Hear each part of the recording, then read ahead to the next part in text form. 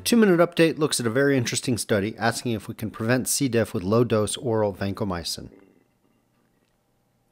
Researchers at one large hospital randomized 100 patients. Half received 125 milligrams of oral vanc each day while they were on systemic antibiotics and for five days after those antibiotics were stopped. The control group received no intervention. They included patients at very high risk for C. diff, older patients on antibiotics with a recent hospitalization during which they also received antibiotics. Patients on metronidazole or with known or suspected C. diff were excluded.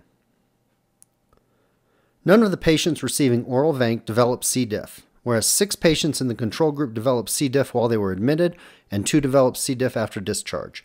Using this inclusion criteria, which clearly targets very high risk patients, the number needed to treat is only nine.